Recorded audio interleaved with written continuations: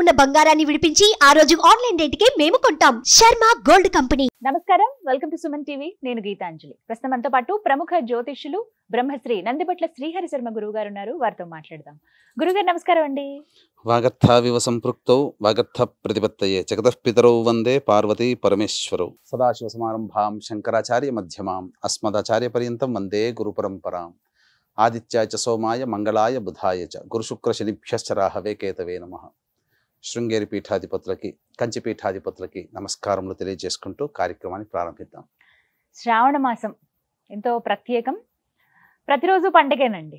ఇందులో భాగంగా వరలక్ష్మి వ్రతాన్ని ఆచరించడం మనం చూస్తాం. ఆ లక్ష్మీ అమ్మవారిని విశేషంగా ఆరాధిస్తూ ఉంటారు ఈ మాసంలో. అయితే ఇంటిల్లిపాది అందరూ ఆ పూజ చేసుకోవచ్చు. మహిళలు ముఖ్యంగా చేసినప్పటికీ భర్త కూడా ఆ పూజ దగ్గర ఉండాలని పిల్లలు ఇలా ఇంటిల్లిపాది చేసుకుంటారు. అయితే ప్రత్యేకంగా మహిళల కోసం అంటూ వరలక్ష్మి వ్రతంతో సమానమైనటువంటి వ్రతం ఇంకా ఏదైనా ఉందా? అంటే భర్త ఆరోగ్యం కోసం ప్రత్యేకించి ఆయన ఎప్పుడు సంతోషంగా ఉండాలి. ఎందుకంటే ఇంటి యజమాని బాగుంటే ఇంటిల్లిపాది సంతోషంగా ఉంటారని చెప్తూ ఉంటారు. సో అలాంటి వ్రతం ఏదన్నా ఉందా అండి అసలు? చేసుకోవచ్చా? ఎవరెవరు చేయొచ్చు? శ్రావణ మాసంలో మీరు అన్నట్టుగా వరలక్ష్మి వ్రతమే అందరికీ గుర్తుకొస్తుంది. ఇదే సందర్భంలో మన మధ్య చర్చకు వచ్చినప్పుడు ఒక నెల కిందట మీరు అన్నారు ఇట్లాంటిది ఏదైనా ఉంటుందా? అని. సమయం సందర్భం వచ్చినప్పుడు తప్పకుండా చెప్పుకుందామమ్మా అని చెప్పి అనుకున్నాము. ఆ సమయం వచ్చింది. కాబట్టి ఇప్పుడు మనం చెప్పుకుపోయేది కూడా దాని గురించేనమ్మా. మీరు అడిగినటువంటి గతంలో అడిగినటువంటి దానికే సమాధానంగా వీక్షించేటువంటి ప్రేక్షకులందరూ కూడా ఇది చాలా అమూల్యమైనటువంటి వ్రత విధానము. దీన్ని ఆశాంతం వీక్షించండి. వీలైతే మీరు లైక్ చేసుకొని సేవ్ చేసుకోండి. మీ లైక్డ్ వీడియోలో ఉంటుంది. మీరు మళ్ళీ మళ్ళీ చూసుకొని మీ యొక్క అభ్యంతరాలన్నీ కూడా మీకు నివృత్తి అవుతాయి. మీకు ఏ సందేహాలున్నా. వీలైతే మీ. తోటి వీక్షించేటువంటి సుమన్ టీవీ మహిళా ప్రేక్షకులు మీ తోటి మహిళలకి షేర్ చేయండి. తద్వారా ఈ యొక్క వ్రత మహత్యం అంతా కూడా పొందిన వాళ్ళు అవుతారు హ్మ్, వరలక్ష్మి వ్రతము ఎంత ప్రాచుర్యంలో ఉందో దానితో సమానమైనటువంటిది మంగళగౌరి వ్రతం.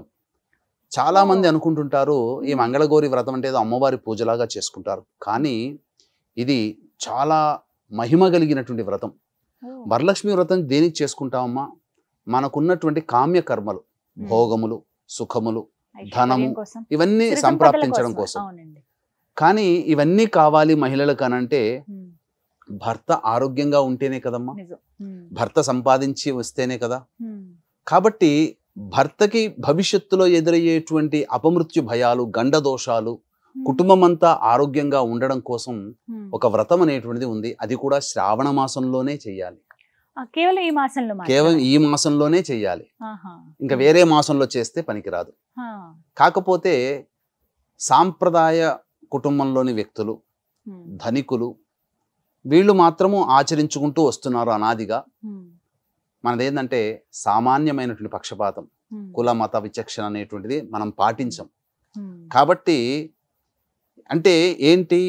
అత్యధికమైనటువంటి ఫలాలు కింది స్థాయి వాళ్ళకు కూడా చేరుకోవాలి అనే ఉద్దేశంతోనే ఈ యొక్క వ్రతం గురించి తెలియచేయడం జరుగుతుందండి. జాగ్రత్తగా ఆశాంతం వినండి. ఇది మంగళగౌరి వ్రతం. పూర్వము అంటే మనకి ఇవన్నీ కూడా వ్రతాలు నోములన్నీ కూడా పురాణాల నుంచి వచ్చాయి. పలానా వ్యక్తులు పలానా పట్టణంలో. మనకు వాళ్ళ గురించి పేర్ల గురించి చారుమతి అని అంటే అమ్మవారి వరలక్ష్మి వ్రతంలో చారుమతి గురించి వస్తుంది. చారుమతి గురించి విన్న వాళ్ళమే తప్ప వాళ్ళ గురించి తెలిసిన వాళ్ళం కాదు. కానీ ఈ మంగళగౌరి వ్రతం ఎవరు ఆచరించారనంటే స్వయంవర తదనంతరం పాండవుల పత్ని అయినటువంటి ద్రౌపదికి తనకి ఒక సంశయం కలిగింది.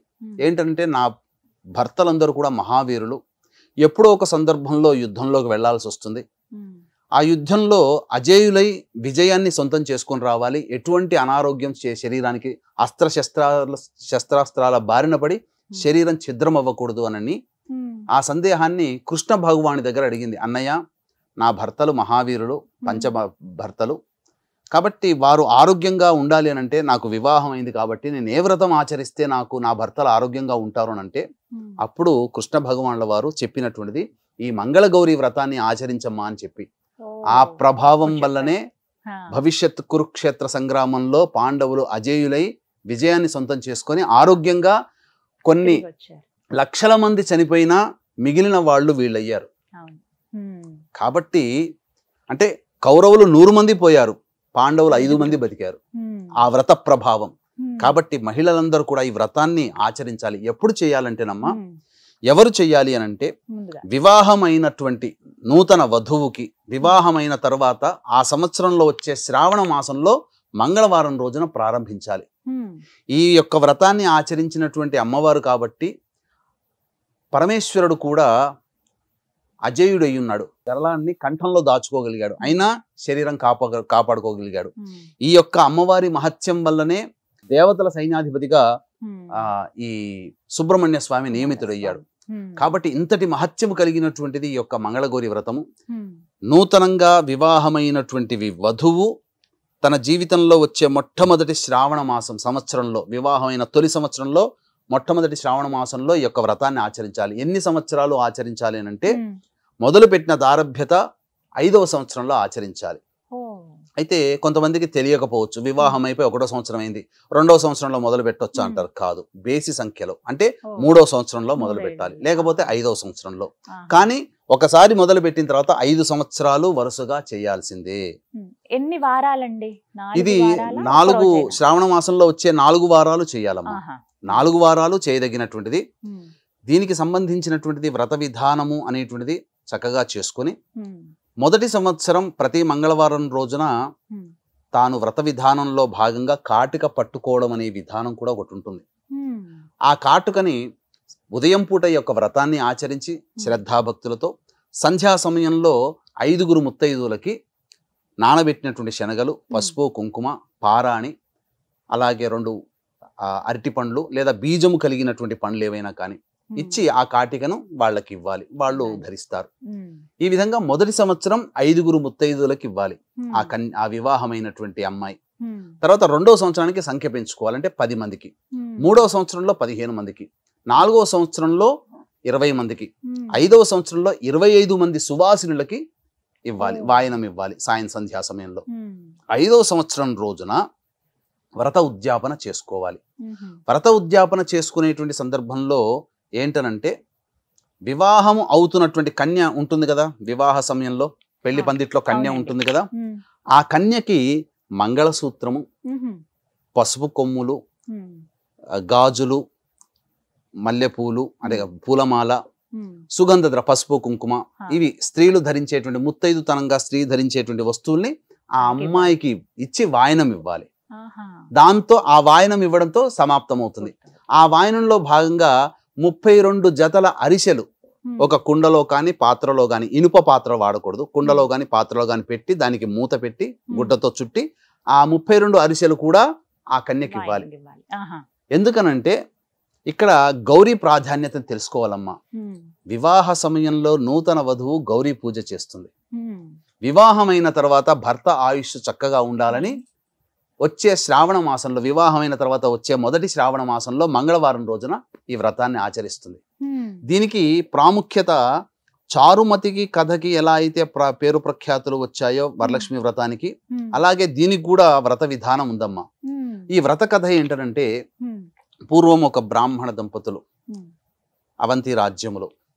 వారు ఎన్నటికీ సంతానం కలగకపోగా ఈశ్వరుని కోసం తపస్సు చేసి ఆ యొక్క ఈశ్వర అనుగ్రహాన్ని పొందారు. స్వప్నంలో వారికి దర్శనం ఇచ్చినటువంటి భగవాన్ల వారు.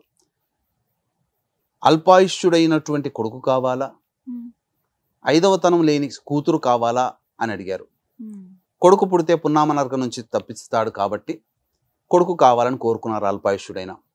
పుట్టాడు. పుట్టగానే పదకొండు రోజులు కాగానే యమభటులు వచ్చారు తీసుకుపోవడానికి. వరప్రసాదం వల్ల. స్వామి మా అబ్బాయికి ఇంతవరకు నేను పేరు పెట్టుకోలేకపోయాము. తర్వాత రండి మా ప్రాణాలు తీసుకోండి అని చెప్పి పిల్లవాడి ప్రాణాలు. తర్వాత పేరు పెట్టుకున్న నామకరణం. అయిన తర్వాత మళ్ళీ రాగానే గుర్తు పెట్టుకొని వచ్చారు. అప్పుడు పిల్లవాడు తల్లిదండ్రులని అమ్మా నాన్న అని పిలిస్తేనే కదా మానవుడు అయ్యేవాడు శిశువు మానవుడు ఎలా అవుతాడు? పలకర మాటలు లేనప్పుడు అనగానే మాటలు వచ్చేంత వరకు ఎదురు చూశారు. తర్వాత మళ్ళీ మాటలు రాగానే యమభటులు తీసుకుపోవడానికి వచ్చారు. అంతటా వేయినోళ్ళ వేడుకొని ఉమ్, బ్రాహ్మణుడిగా పుట్టాడు కదా. ఉపనయన సంస్కారం అయిన తర్వాత బ్రాహ్మణుడు అవుతాడు. అప్పటి వరకు ఇతర వర్ణంతో సమానమే కదా. ద్విజ జన్మ అనగా ఉపనయనం అయితేనే బ్రాహ్మడు అవుతాడు కాబట్టి ఉపనయనం వరకు వేచి చూడండి అన్నారు. అలాగే ఉపనయనం వరకు కూడా పది సంవత్సరాలు వచ్చేంత వరకు ఉపనయనం వరకు వేచి చూశారు. ఉపనయనం అయిన తర్వాత కొన్ని రోజులకి ఆ తల్లి బాధపడుతూ ఉంది. ఏందమ్మా ఎందుకు బాధపడుతున్నావు? ఏడుస్తున్నావు? అని అంటే నాయన నీ జన్మ వృత్తాంతం ఇది. నీకు కొన్ని రోజుల్లో ఇక ఆయువు తీరిపోతుందనగా అప్పుడు జ్ఞాన సంపన్నుడైనటువంటి అబ్బాయి అమ్మ ఎక్కువ కాలం నేను బతకలేను. బ్రతికుండి నేను పుణ్య కార్యక్రమాలు చేసుకొని తరించే శక్తి యోగ్యత నా జీవితానికి లేదు. కాబట్టి నేను కాశీకి వెళ్తానమ్మా. నాకు అనుజ్ఞ ఇవ్వమ్మా అని తల్లిదండ్రులను వేడుకున్నాడు. అంతటా ఒక పిల్లవాడిని ఇస్తే ఆ రోజున కాశీకి పోతే కాటికి పోయినట్టేనే సమాధానం కదా ఒక యాభై సంవత్సరాల కిందట. కాబట్టి ఆ పిల్లవాడితో జతగా మేనమామనిచ్చి పంపించారు తల్లిదండ్రులు. ఇలా వెళుతూ వెళుతూ ఉన్నప్పుడు రాజ్యానికి ఒక రాజ్యానికి చేరుకున్నారు. చేరుకున్న తర్వాత అక్కడ పూదోటలో విశ్రమించారు. పూలవనంలో. ఆ పూలవనం రాజుగారి ఉద్యానవనం. ఆ ఉద్యానవనంలో అప్పుడే ఆటలాడుకోవడం కోసం రాజకుమారి వచ్చిందమ్మా తన చెలికత్తెలతో. కొంత ఆటలాడుకున్న తర్వాత పూలు కోసుకున్నారు వాళ్ళందరూ. ఆటలాడుకుంటూ మధ్యలో ఆ చెలికత్తే దుర్భాషలాడింది రాజకుమారిని. ఎలాంటి దుర్భాషలు అంటే నువ్వు పెళ్ళైన తర్వాత విధవైపోతావు అని దుర్భాషలాడింది. అనిన తర్వాత అప్పుడు ఆ అమ్మాయి రాజకుమారి ఏమందంటే నువ్వు అనే మాటలు నాకే శాపాలను నాకేమీ తగలవు. ఈ రోజు నాకు వివాహం జరగబోతుంది. మా అమ్మ మా అమ్మ గౌరీ వ్రతం ఆచరించింది. నాకు వాయనం ఇస్తుంది. ఆ వాయనం తీసుకున్న పిదప మళ్ళీ నేను వ్రతాన్ని ఆచరిస్తాను. కాబట్టి నాకు నా భర్తకు ఎటువంటి ఇబ్బంది కలగదు అని చెప్పి చెప్తూ తెచ్చుకున్నటువంటి తెంపిన పూలన్నీ తీసి వెదజల్లింది. ఎక్కడి నుంచి ఆ మాట చెప్పడంతోనే ఎక్- వెదజల్లగానే ఎక్కడి నుంచి వచ్చాయో మళ్ళీ అదే చెట్లకు అట్టుకున్నాయి పూలు.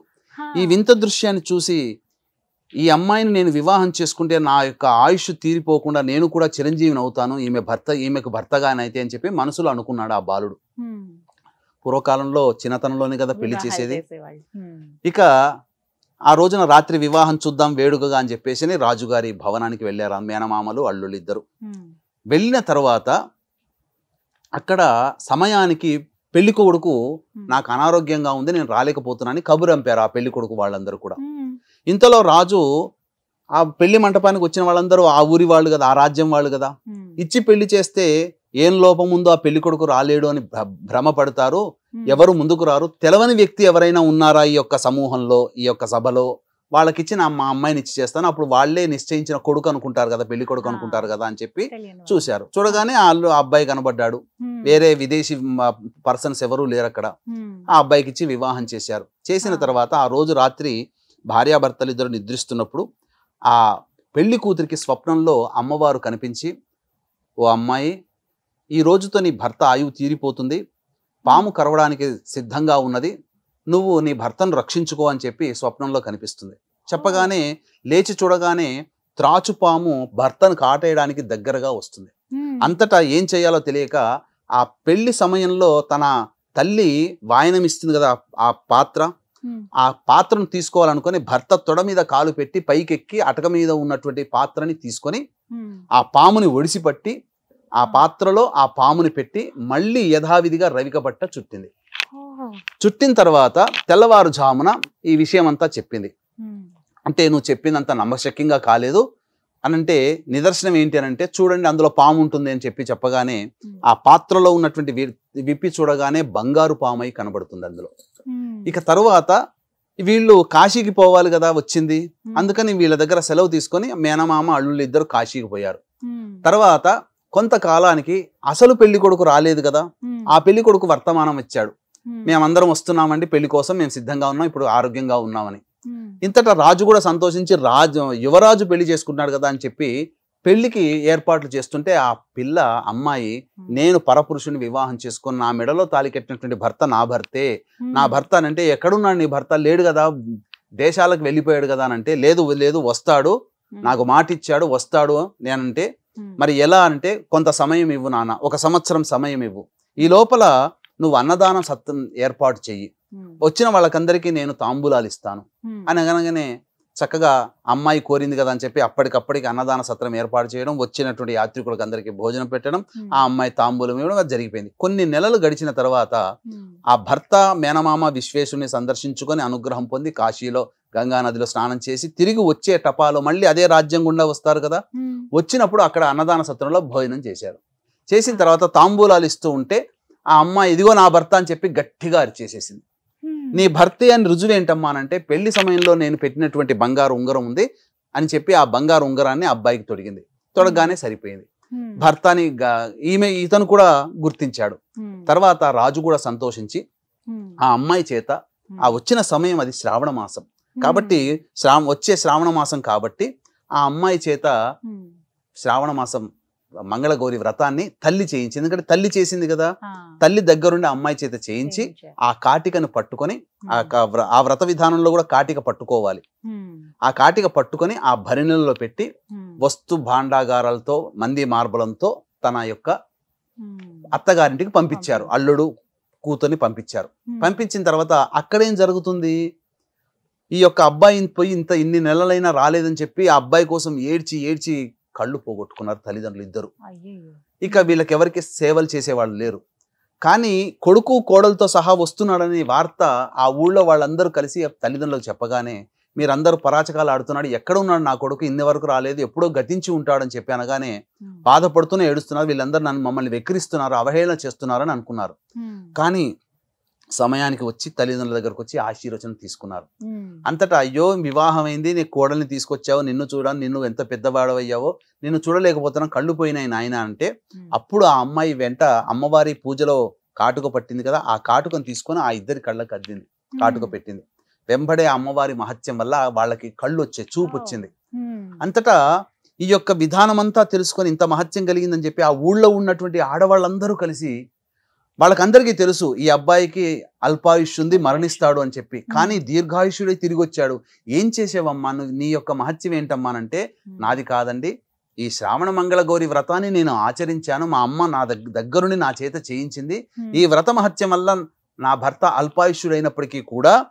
అతను అమ్మవారి అనుగ్రహంతో దీర్ఘాయుష్మంతుడు అయ్యాడు అని చెప్పగానే ఆ ఊళ్ళో వాళ్ళందరూ కూడా అప్పటికి వివాహమైన ఆ పిల్లలందరినీ దగ్గర కూర్చోబెట్టుకొని ఈ వ్రతాన్ని ఆ అమ్మాయి రాజకుమారి అందరి చేత ఆచరింపచేసింది ఓ.